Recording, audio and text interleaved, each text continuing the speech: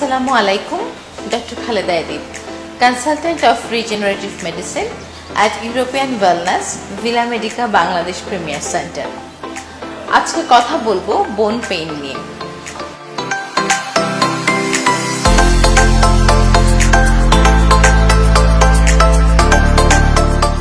বোন পেইন বলতে আমরা যেটা বুঝি, সাধারণত আমাদের কাছে পেশেন্টসরা বিভিন্ন জয়েন্ট পেইন এবং ব্যাক পেইন নিয়ে আসে।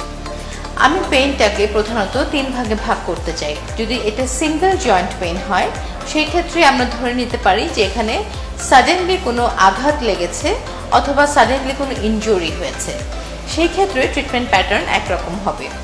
যদি two two four joint involve হয়, অর্থাৎ কারও নি জয়েন্ট সাথে কোনোই ব্যথা অথবা শোল্ডার পেইন এ ধরনের পেইন যদি হয়, দুই থেকে চারটি জয়েন্ট যদি ইনভলভ থাকে সেই ক্ষেত্রে আমরা একটি ক্রনিক ইনফ্ল্যামেটরি প্রসেস অথবা ডিজেনারেশন চেঞ্জ অফ বোন হিসেবে চিন্তা করে ট্রিটমেন্ট করি। অ্যান্ড নাম্বার থ্রি যদি more than four joint involve হয় with small joint like finger জয়েন্টসগুলো এবং সকালবেলা স্টিফনেস এবং দেখা যায় যে রেস্টে থাকলে পেন বেড়ে যায়, সেই ক্ষেত্রে আমরা এটাকে কনসিডার করি অ্যাজ এ রিউম্যাটিক আর্থ্রাইটিস অথবা বাত জ্বর হিসেবে এছাড়াও কিছু পেশেন্টস আমাদের আসে ব্যাক পেইন নিয়ে এবং মাস্কুলোস্কেলিটাল পেইন নিয়ে। মাস্কুলোস্কেলিটাল পেইন আসলে অনেকের অনেক সময় হয়, বিশেষ করে রাতে ঘুমের সময় দেখা যায় যে পায়ের মাসেলসে অথবা হাতের মাসেলসে পেইন ফিল হচ্ছে, অথবা এক পাশ থেকে আরেক পাশে ফিরে যাওয়ার সময় পেইন ফিল হচ্ছে। এগুলোকে আমরা বলছি মাস্কুলোস্কেলিটাল পেইন এছাড়াও কিছু ডিজিজ বেসড পেইন আছে, যেরকম ফাইব্রোমায়োলজিয়া এই ধরনের ডিজিজে প্রচুর বোন পেইন হয়। ক্যান্সার পেশেন্টস এদের প্রচুর বোন পেন হয় অথবা বডি এক হয়।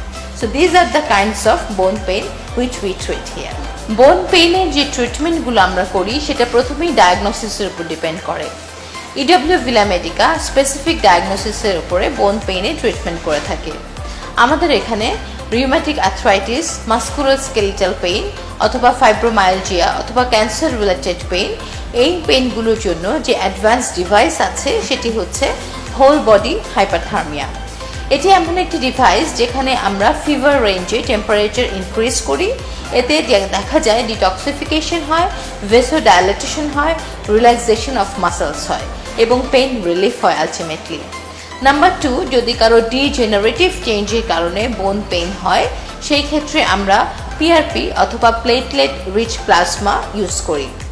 উল্লেখ্য যে আমাদের পিআরপি ওয়ার্ল্ড ক্লাস পিআরপি হিসাবে সমাদৃত বিকজ আমাদের যে প্লেটলেট রিচ প্লাজমা আছে, সেটি আমরা পেশেন্টের কন্ডিশন অনুযায়ী মডিফাই করে এবং প্লেটলেটকে সবচেয়ে বেশি কনসেন্ট্রেট করে তৈরি করতে পারি।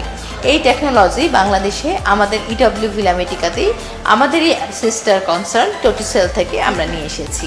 সো পিআরপি ট্রিটমেন্টের মাধ্যমে আপনার ক্রনিক নি জয়েন্ট পেন অথবা ফ্রোজেন শোল্ডার পারমানেন্টলি রিজেনারেট অথবা রিপেয়ার হতে পারে এবং পরবর্তীতে আর কখনোই এই ব্যাক পেন ফিরে নাও আসতে পারে। এছাড়াও ইডব্লিউ ভিলা মেডিকাতে আছে German standard bone specific stem cell যেটি আমরা যে কোনো ধরনের বোনের ডেন্সিটি ইনক্রিজ করার জন্য ইউজ করি। এটি জার্মান থেকে ডিরেক্টলি আমরা নিয়ে আসি এবং এই স্টেম সেল ব্যবহারের মাধ্যমে বয়সের সাথে সাথে বোনের যে ক্ষয় হতে থাকে ডিজেনারেশন এবং বোনের ডেন্সিটি কমতে থাকে, সেই ডেন্সিটি স্লোলি স্লোলি ইনক্রিজ করে এবং প্রিভেন্ট করে future fracture of the bone এই বোন স্পেসিফিক স্টেম সেল ট্রিটমেন্টের মাধ্যমে আপনি পেতে পারেন একটি পারমানেন্ট সলিউশন যেটি পেইনলেস এবং ডিজেনারেশন থেকে আপনার বোনসকে আপনি রক্ষা করতে পারেন। এছাড়া ইডব্লিউ ভিলামেডিকাতে আমাদের আরও আছে হাইপারবারিক অক্সিজেন চেম্বার যেখানে আমরা অক্সিজেন ফ্লোটাকে ইমপ্রুভ করি, যার ফলে বোনের পেইনগুলো যে থাকে, সেগুলো ইমপ্রুভ হয় ভেসোডায়ালেটেশনের মাধ্যমে। অবশ্যই অস্টিওপরোসিস অথবা বোন ক্ষয় রক্ষা করার জন্য আপনার হরমোনাল ব্যালেন্সগুলোকে চেক করে নিতে হবে। অনেক সময় মহিলাদের, বিশেষ করে যাদের পোস্ট মেনোপোজ হয়ে যায় অথবা পিরিয়ড বন্ধ হয়ে যায় তাদের ইস্ট্রোজেন লেভেল এবং প্রজেস্ট্রন লেভেলের ইমব্যালেন্সের জন্য বোন ক্ষয়ের প্রবণতা অনেক বেড়ে যায়। সো এই পেশেন্টসদের জন্য স্পেশালি আপনাদের সবসময় ক্যালসিয়াম এবং ভিটামিন ডি রিচ ফুড এবং সাপ্লিমেন্ট নিতে হবে। Thank you very much for watching this video hopefully this will help you